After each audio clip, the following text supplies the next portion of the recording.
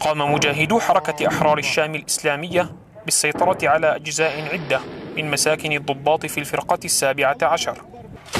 بدأ الاقتحام فجر اليوم وسط اشتباكات عنيفة إذ استهدف الثوار مباني الضباط بالمدافع الثقيلة والرشاشات الأرضية وأيضا صواريخ السي 5 فكانت الإصابات محققة وكبد جيش الأسد قتلى وخسائر كبيرة في صفوفه. مع انهيار الروح المعنوية لمقاتليه. وخلال الاشتباكات قام الطيران الحربي بقصف مواقع المجاهدين داخل الفرقة.